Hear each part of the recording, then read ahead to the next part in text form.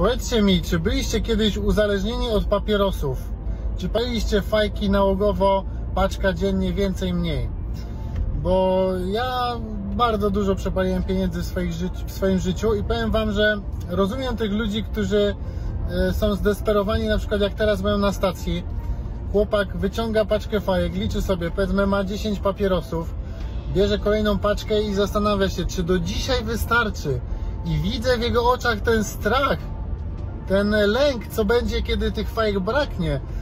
No, w najgorszym wypadku może iść na stację, bo jest 24 na H, więc zawsze je znajdzie. Ale zobaczcie, jak potężny nauk. Niby fajki nie uzależniają, że są takie, że puszcza się dymek, nie ma z tego nic.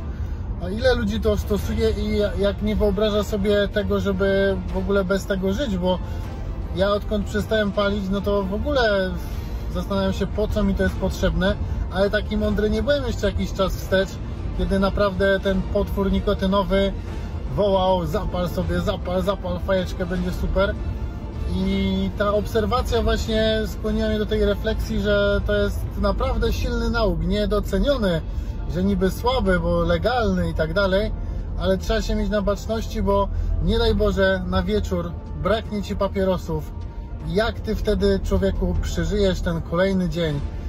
Budziłem się wielokrotnie z tą e, zagwozdką i w pewnym momencie, kiedy już e, apogeum objawów nikotynowych poprzez słabe samopoczucie, Za 400 metrów skręć w prawo. tar, gula na gardle, na nosie, bardzo mnie zmotywowały, żeby e, rzucić to raz na zawsze. Dzięki biorezonansowi odczulaniu nikotynowemu polecam.